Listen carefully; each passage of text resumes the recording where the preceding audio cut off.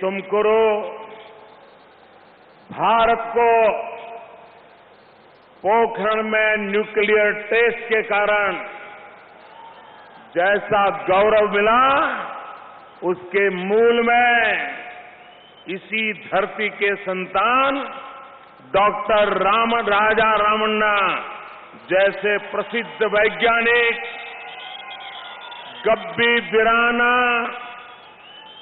जैसे कलाकार और जकराचारी जैसे मूर्तिकारों की धरती को प्रणाम करता हूँ।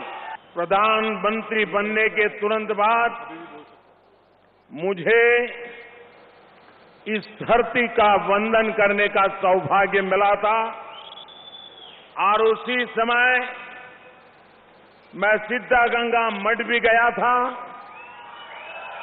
जहाँ शिव कुमारा स्वामी जी के दर्शन, उनके आशीर्वाद प्राप्त करने का और उनसे चर्चा करने का मुझे सौभाग्य मिला था।